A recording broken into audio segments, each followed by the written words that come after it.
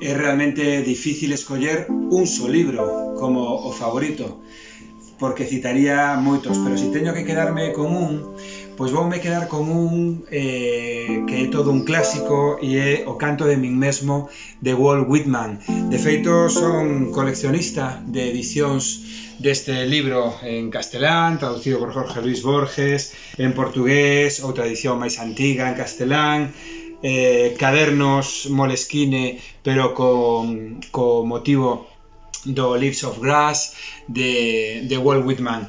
Eh, recomendaríao sobre todo porque é un libro de defensa absoluta da vida. É un libro que teño super suriñado de anos e anos lendo esta traducción que publicou hai moitos anos eh, positivas pois foi unha traducción feita polo malogrado Xosé Freire, que era un gran amante tamén de Walt Whitman. Así que a miña recomendación para este día do libro, o canto de ben mesmo de Walt Whitman.